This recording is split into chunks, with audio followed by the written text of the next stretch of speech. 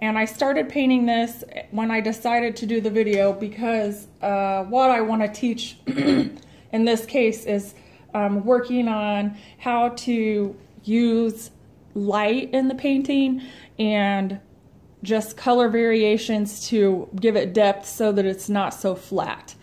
So um, I've got just acrylic paints here, Apple Barrel brand from Walmart. They're two for a dollar, so anybody can afford to do this.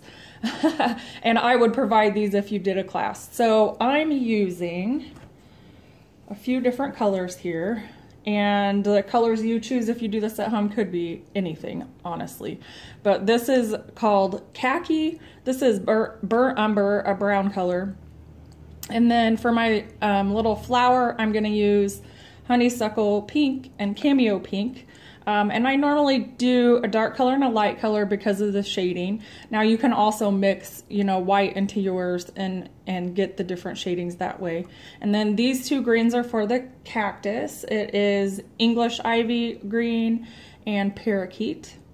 And then I wanted to make my pot blue because I love this shade of blue here. It's like one of my favorites. It's called Tuscan Teal. And then I'm gonna add a little bit of light shading with this Caribbean blue color. And then of course we have black and we might use some white also. So I'm picturing this table to be wooden. And what I'm gonna do is load, I, I've colored it in already with the tan khaki color.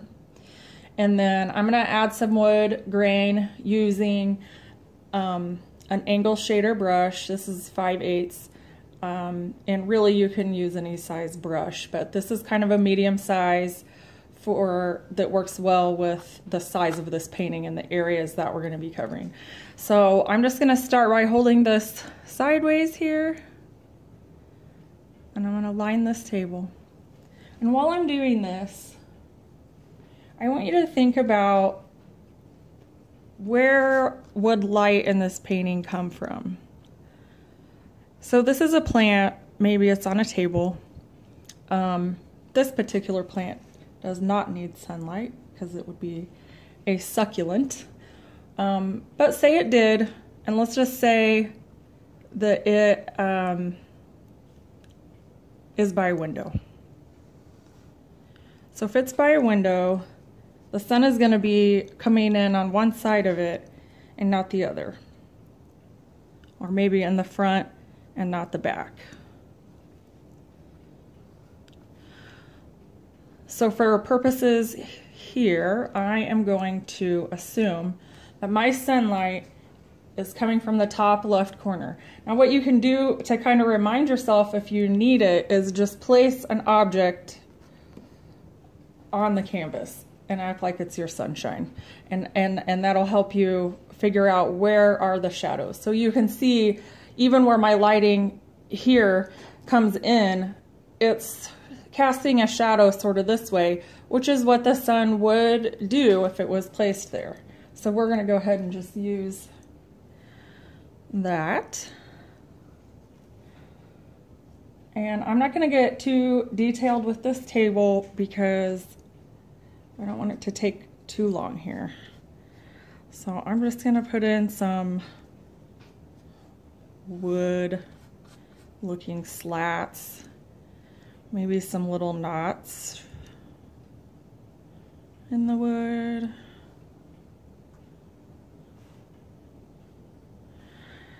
And then for the shading, we're gonna do what um, what I like to call dry brushing. I don't know if what it's what it's actually called um, because, like I said, I don't have any art experience.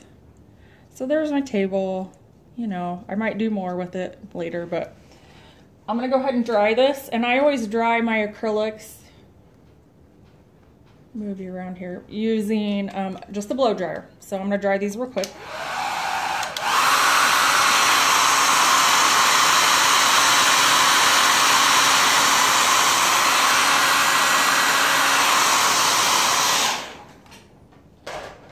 Anytime I want to add depth to something, I do what, what I call the dry brushing technique. And all that is, is I'm gonna get a paper towel and I'm gonna load my brush with some paint, but then I'm gonna kind of dry it, like kind of dab it on a paper towel. And then the reason you want this to be dry is because it's gonna create this shading effect. So um, my sun is coming from the top left. So I'm gonna assume here that it's gonna hit around this area. So we're gonna say, oh, the pot is going to cast a shadow. And I actually might go over this with black since this is already got brown on the wood. And we're just gonna lightly just pull the paint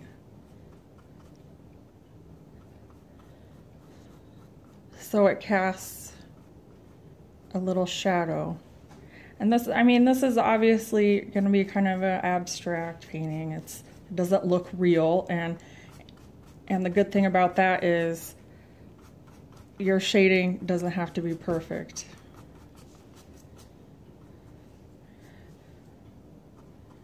So there's the shading for my pot. And I would, um, so I'll probably go back over that with black actually, and then I'll use the dry brushing technique to add a little more character on the floor. So you, you all you have to do is just kind of lightly rub it in. So we're gonna skip that. Uh, I'll show you with the black. I just added black right onto the same brush and we'll just kind of go I would kind of go back over it with the black.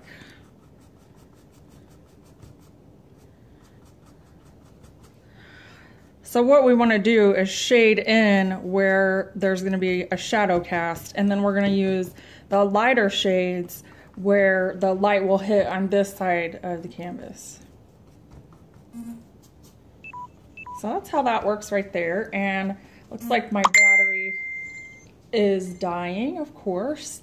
So um, that's really about all I wanted to show you today. And then just that you're gonna um, use either the darker color or the lighter color first. In this case, with the wood, I went with the lighter color um, because generally the grain in wood is a little darker than the kind of like base of the wood.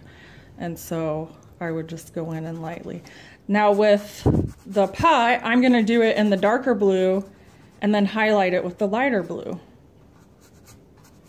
So you just got to kind of think about how you want to do it. So that's really all I have for today since my battery's dying. And I'm going to finish this up and I will get some classes scheduled um, on this fun little painting and we can do it together. Thanks. Have a great day.